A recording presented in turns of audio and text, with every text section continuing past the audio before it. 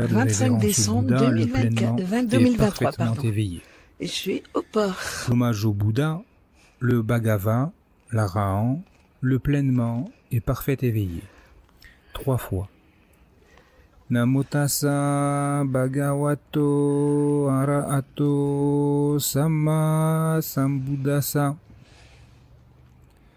Namo tassa bhagavato arahato samma sambuddhassa. Namo tassa bhagavato arahato samma sambuddhassa.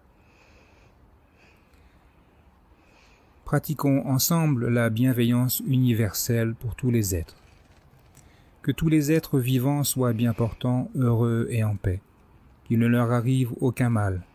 Qu'ils ne rencontrent ni difficulté ni problème. Puissent-ils toujours connaître le succès qu'ils soient également patients, courageux,